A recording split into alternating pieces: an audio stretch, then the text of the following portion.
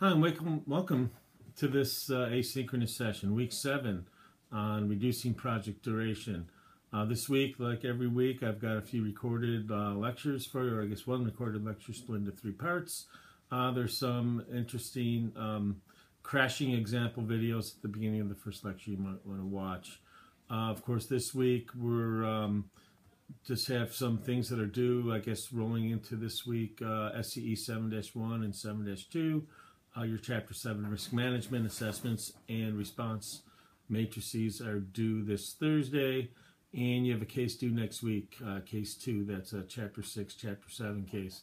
Uh, rolling into that, I decided to hold off a week or two on assigning case 3. It's, it's not due until November 14th uh, and it covers future chapters I haven't gone over yet. So I think I'll just hold off a week or so um, and release it either uh, right around the 23rd of this month or so.